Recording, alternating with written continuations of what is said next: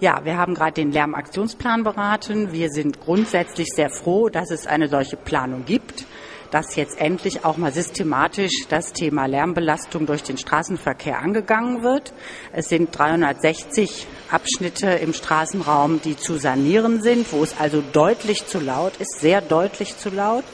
Was wir aber nicht teilen, das ist die Einschätzung der Verwaltung äh, zu dem Verkehrsclub Fahrradclub Deutschland weil da nochmal deutlich gemacht wird seitens der Verwaltung, dass es eigentlich äh, eine Politik ist, die den Autoverkehr überhaupt nicht beschneiden will, während wir doch meinen, dass zum Beispiel alternative äh, Verkehrsformen, Fahrradverkehr, auch zu Fuß gehen, mehr gefördert werden müsste.